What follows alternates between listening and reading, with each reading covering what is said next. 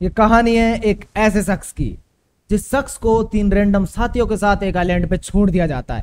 फ़िलहाल वो शख्स जैसे यहाँ पे लैंड करता है, उसे पता चल जाता है कि भाई साहब, उसे सबसे पहले कुछ गन्स की ज़रूरत पड़ने वाली है। क्योंकि यहाँ पे कोई अपना नहीं होता। जितने के जितने यहाँ पे दुश्मन उतरे होते हैं, सब एक दूसरे के खून के प्यासे रहते हैं। जैसे वो बंदा लैंड करता है और उसे सबसे पहले यहाँ पे गन्स की नीड पड़ती है तो वो सबसे पहले थोड़ी बहुत गन्स लूट लेता है। और जैसे वो गन्स लूटता है, थोड़ी ही देर में खबर आती है कि उसके एक साथी को नीचे पकड़ लिया गया है। मतलब कि उसके एक साथी को नीचे घायल कर दिया जाता है कुछ दुश्मनों के द्वारा। अब यहाँ पे उनका जो साथी होता है, वो घायल हो जाता है बुरी तरह से। और फ़िलहाल उस बंदे का भी मन नहीं करता है कि वो जाए और उसे बचाए। लेकिन काफ़ी टाइम बीतने के बाद वो जो एनिमी होते हैं, वो जो दुश्मन होते हैं, उसके साथी को नहीं मारते हैं। मतलब वो कहते हैं कि तुम अपने साथियों को बुलाओ, नहीं तो हम तुम्हें मार डालेंगे। और उनका साथी उन्हें पुकारता है, आवाज़ लगाता है, लेकिन फिर भी उन्हें दया नहीं आती है। लेकिन बहुत टाइम बीतने के बाद भी वो एनिमी, वो दुश्मन उसे खत्म नहीं करते हैं। और फ़िलहाल जब बहुत टाइम बीत चुका होता है तो उस बंदे के दिमाग में एक चीज़ आती है कि अगर हमने जाके उसे नहीं बचाया तो ये बंदे हमको भी मार डालेंगे। तो फ़िलहाल वो बंदा जंप लगाता है और सीधा जाता है उसे बचाने के लिए।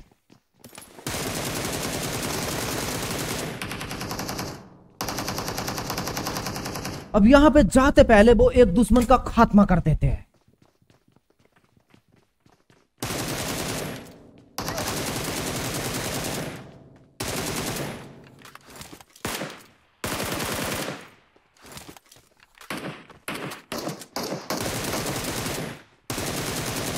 और उसके बाद यहाँ पे कुछ दुश्मन के बच्चे आ जाते हैं जिनके हाथों में गन्स होती है। उन्हें चलाना तक नहीं आता, लेकिन वो गन से फायर करना जानते हैं। तो फ़िलहाल उनको निपटाने के बाद वो शख्स वहाँ से निकल आता है और थोड़ा सा आगे आता है तो उसे एक बग्गी नज़र आती है। तो वो उस बग्गी को लेगा और वहाँ से निकल जाएगा। फ़िलहाल वो उस बग्गी में बैठने की तैयारी कर ही रहा होता है और बैठ भी जाता है और वहाँ से निकल जाता है। और थोड़ा सा आगे जाता है, कुछ दुश्मनों की खोजबीन करता है। फ़िलहाल दुश्मन उसे जल्दी से मिलते नहीं है, लेकिन एक उसका बंदा, उसका जो टीममेट होता है, उसकी गाड़ी में आ जाता है। और वो जो उसका साथी होता है, वो उसके साथ और ज़्यादा दुश्मन ढूँढने की कोशिश करते हैं। खैर, फ़िलहाल वो यहाँ पे थोड़ा बहुत कुछ लूट रहे होते, तभी उनके एक साथी को घायल कर दिया जाता है और उसके उस घायल साथी को पूरी तरह से ख़त्म कर दिया जाता है मतलब मार दिया जाता है। और उसके बाद यहाँ पे उन्हें चाहिए रहता है बदला। बदले की आड़ में वो लोग सीधा अपनी बगी उठाते हैं और दोनों को दोनों सीधा घुस जाते हैं एनिमी के घर में।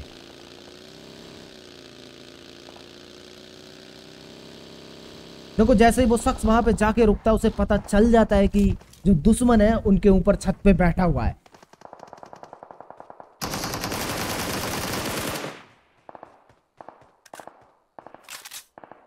खैर, फ़िलहाल उस दुश्मन को मार गिराया जाता है मतलब घायल कर दिया जाता है।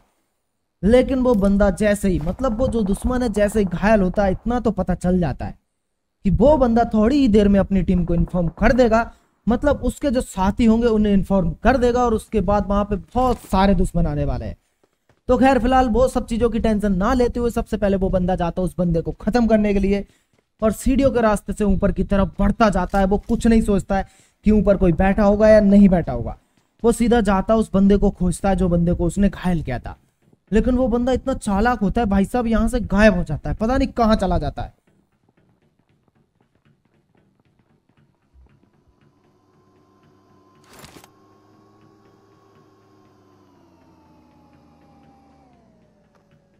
लेकिन उसको जिस बात का डर होता है वही होता है, वो बंदा तो यहाँ पे खैर फ़िलहाल खत्म हो जाता है, लेकिन उसके साथ ही यहाँ पे पहुँच जाते हैं। और उसके साथ ही जब आते हैं तो वो बंदा वहाँ पे घात लगाए बैठ जाता है कि जैसे ही वो बंदे ऊपर आएँगे, वो उनको मार डालेगा। लेकिन ऐसा कुछ भी नहीं होता है। काफ़ी देर तक इंतज़ार करने के बाद पता चलता है कि वो एनिमी ऊपर नहीं आने वाले मतलब उसके दुश्मन जो होते हैं, उन्हें पता चल जाता है कि बंदा ऊपर ही उनका इंतज़ार कर रहा है। तो वो बंदे भाई सब टच से मच नहीं होते हैं और ऊपर नहीं आते। मतलब कि जो दुश्मन होते हैं, वो ऊपर नहीं आते। खैर, फ़िलहाल यहाँ पे कुछ और दुश्मन आ जाते हैं, जिन्हें मारने की नाकाम कोशिश की जाती है, लेकिन कोई मर नहीं पाता है।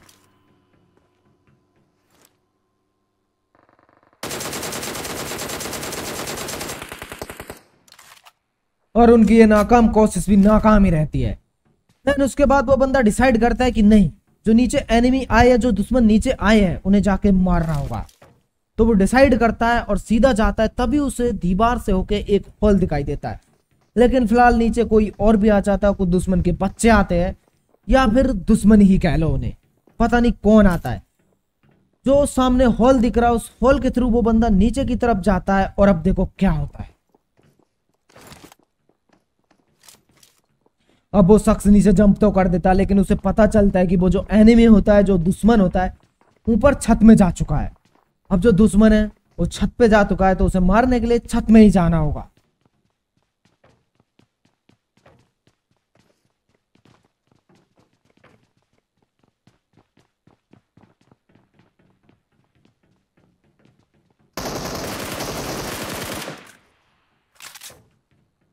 हाँ फ़िलहाल यहाँ पे ये दुश्मन भी घात लगाए, बैठा होता है, लेकिन ये ज़्यादा कुछ कर नहीं पाता है। और इसको यहाँ पे फिनिश ऑफ़ कर दिया जाता है। और थोड़ी ही देर में यहाँ पे दुश्मनों की संख्या बढ़ने वाली है। क्योंकि जैसे इसको मारा जाता, कुछ और लोग यहाँ पे आ जाते हैं, जो कि कैंप करने लगते हैं। मतलब कि अपार्टमेंट की तरफ़ जो यहाँ से थोड़ी ही दूरी पे मौजूद है, वहाँ पे कुछ और एनिमी आ जाते हैं। और उसके आगे वाले हिस्से में थोड़ा ही मतलब इनके पास में कुछ बंदे आ जाते हैं जो कि फायर करके उन्हें बता देता है कि भाई साहब, यहाँ पे दुश्मन आ चुके हैं। अब वो जैसे ही अपार्टमेंट की तरफ़ बढ़ रहे होते तभी उनके साइड से फायर आता है और वो समझ जाते हैं कि दुश्मन यहीं पे कैंप कर रहे हैं। तो भाई साहब, फ़िलहाल जो दुश्मन होते हैं, स्मोक, बीड़ी, हुक्का, पानी का इस्तेमाल करते हुए यहाँ पे बचते हैं। खैर, फ़िलहाल वो उन्हें देखने की कोशिश करता है, लेकिन फ़िलहाल कोई दिखाई नहीं देता और उसके बाद वो वहाँ पे एक नेड का इस्तेमाल करते हैं। और वो नेड इतना कामगार होता है कि सामने वाले बंदे के तोते छूट जाते हैं और वो नॉक हो जाता है। देन वो उसके बाद एक और नेड का इस्तेमाल करते सोचते कि कोई नॉक हो जाएगा, लेकिन ऐसा फ़िलहाल कुछ होता नहीं है। और यहाँ पे वो गन से फायर भी करते गन शॉट भी लेते हैं, लेकिन बंदा दिख नहीं रहा होता है। अभी वो एक और ग्रेनेड का इस्तेमाल करते हैं और सामने वाले जम के उस पर फायर करते दुश्मन उसके हेड में गोली मारते हैं। जो कि अपार्टमेंट से मारते हैं और कुछ सामने से मारते हैं, लेकिन फ़िलहाल वो उसकी हेल्थ जाती है उसे रिकवर कर लेता है। देन उसके बाद वो एक और ग्रेनेड का इस्तेमाल करते हैं। और ये ग्रेनेड भी उनका एकदम फुस्सी जाता है, कोई काम नहीं आता है। देन वो यहाँ पे सबसे पहले कवर लेते हैं जो अपार्टमेंट वाले बंदे होते हैं, उनसे। यहाँ पे एक शील्ड का निर्माण करते उसे तैयार करते और बना देते हैं, जिससे कि अपार्टमेंट वाले बंदे उसको तंग ना करें। और वो फिर से एक और ग्रेनेड का इस्तेमाल करते हैं, लेकिन ये ग्रेनेड भी कुछ खास काम नहीं करता है। देन उसके पास ग्रेनेड की संख्या हो जाती है, खत्म। उसके पास बचती है एक मौली, जिसका इस्तेमाल भी वो सफलतापूर्वक कर लेंगे। मतलब ये शख्स जो यहाँ पे बैठा हुआ है, ये पूरी तरह से एनिमी को परेशान करके रख देता है। एनिमी एकदम परेशान हो जाते हैं। फ़िलहाल इस बंदे के पास कुछ बचता नहीं है, लेकिन इसका साथी तभी एक बंदे को मार गिराता है। मतलब अपार्टमेंट की तरफ़ उसका बंदा जो स्नाइपर चला रहा होता है, एक को घायल कर देता है। तभी सामने वाला बंदा जो है एकदम बाहर निकल के नहीं आता। इतना ढीट एनिमी होता। है भाई साहब इतना ढीट दुश्मन होता है कि बंदा खूब सारे नेट तो उसके खत्म हो ही चुके हैं। बहुत सारी स्मोक वहाँ पे डाल देता है लेकिन भाई साहब सामने वाले को कोई फ़र्क नहीं पड़ता। नहीं मतलब इतने ढीट एनिमी होते हैं लेकिन इससे बड़ा ढीट नहीं देखा मैंने आज तक भाई साहब। ये बंदा इतना जम के बैठ जाता बाहर आने का नाम नहीं लेता साला। खैर, जो भी हो, उसका साथी यहाँ पे मरने की कोशिश करता है अपार्टमेंट से, लेकिन उसे कोई मार नहीं पाता है। सामने वाला जो एनिमी होता है, वो यहाँ से निकलने की नाकाम कोशिश कर रहा होता है, तभी उन बंदों को पता चल जाता है। और वो यहाँ पे उसके जाने से पहले ही उस पर रस कर देते हैं।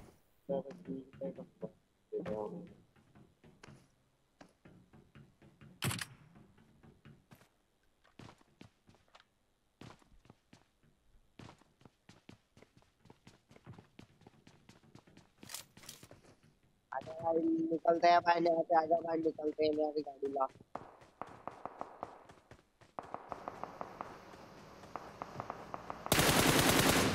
अब सामने वाला जो एनिमी होता है, जो दुश्मन होता है, वो यहाँ से गाड़ी लेके भागने की कोशिश कर रहा होता है कि तभी उसको अपार्टमेंट वाले बंदे धर धपोसते हैं।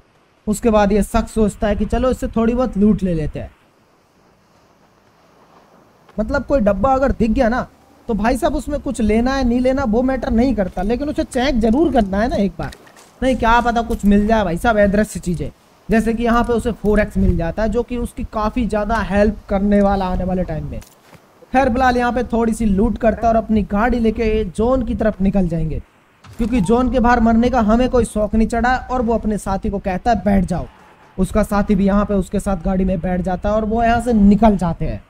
खैर फ़िलहाल आगे के रास्ते से वो जाते नहीं है क्योंकि आगे कुछ दुश्मन उसका इंतज़ार कर रहे होते वो पीछे के रास्ते से निकल जाते थोड़ा आगे आते तभी उन्हें सामने एक गाड़ी दिखाई देती है। वो उस गाड़ी का पीछा करते हैं।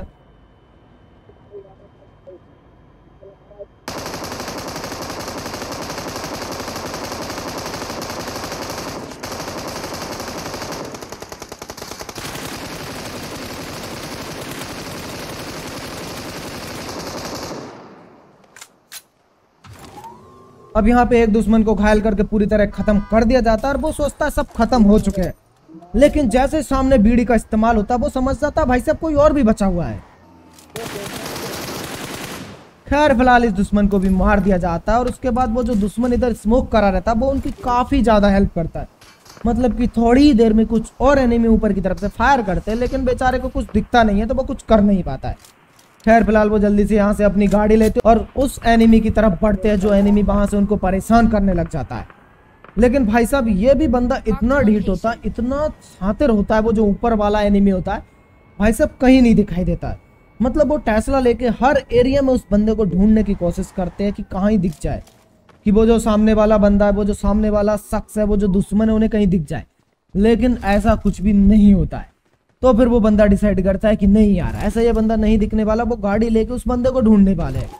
तो वो अपने साथी के साथ जाता, अपनी टेस्ला में बैठ जाता और सामने वाले बंदे को ढूँढने की कोशिश करता है, देखते यहाँ पे क्या होता है।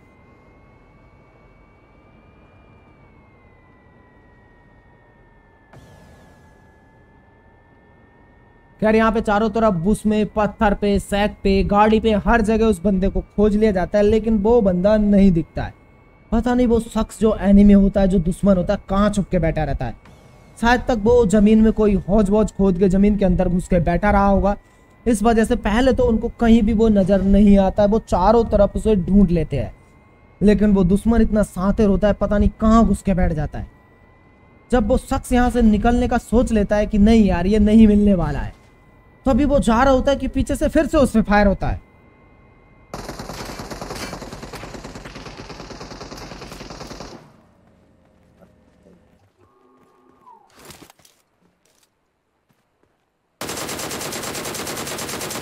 लेकिन इस बार उस शख्स की किस्मत अच्छी होती है और दुश्मन की खराब होती है तो वो यहाँ पे निपटा दिया जाता है।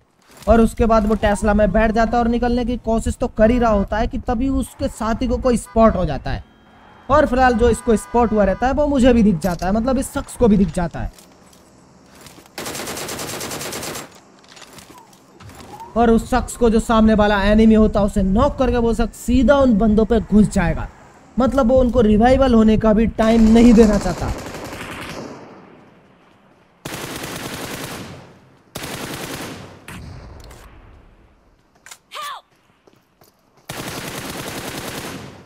खैर यहाँ पे एक बंदा उसको जो हाथ लगा रहा होता है मतलब कि उसकी हेल्थ को रिकवर करना ही वाला होता है। उसके पिछवाड़े पे हाथ रख के उसे ज़िंदा करने ही वाला होता है कि तब तक भाई साहब हम पहुँच जाते हैं मतलब ये शख्स पहुँचता है और यहाँ पे सबको खत्म कर देता है। देन उसके बाद बसते कुछ और एनिमी जिनकी खोज में वो निकलने वाले होते हैं अपनी टेस्ला में बैठते हैं। लेकिन तभी उन्हें पता चलता है कि उनकी गाड़ी का टायर पूरी तरह खत्म हो चुका है और उनकी गाड़ी की हेल्थ भी उतनी ज़्यादा नहीं है। तो वो सोचते हैं कि यार इस गाड़ी के बजाय वो कोई दूसरी गाड़ी लेने वाले हैं। तभी वो ऊपर की तरफ़ देखते कि ऊपर एक डांसिया खड़ी हुई होती है। तो वो डिसाइड करते हैं कि इस गाड़ी को छोड़ के वो दूसरी वाली गाड़ी ले लेंगे। लेकिन ये डिसीज़न उनको बहुत ज़्यादा भारी पड़ने वाला है। देखो आप।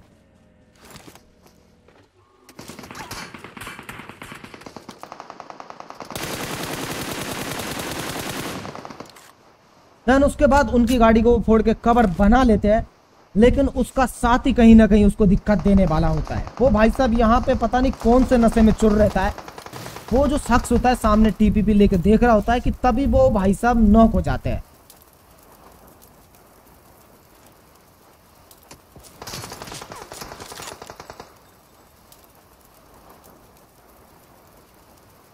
तो भाई साहब सामने वाले जो एनिमी होते हैं, जो दुश्मन होते हैं उनके ऊपर पूरी तरह से हमला कर देते हैं और वो यहाँ पे तुरंत कुछ वीडियो को इस्तेमाल करते हैं। कुछ सिगरेट पानी का इस्तेमाल करते सामने स्मोक करते हैं देन उसके बाद पीछे हट जाते क्योंकि वो समझ जाता है कि यहाँ पे नेट आने वाले और वही होता है।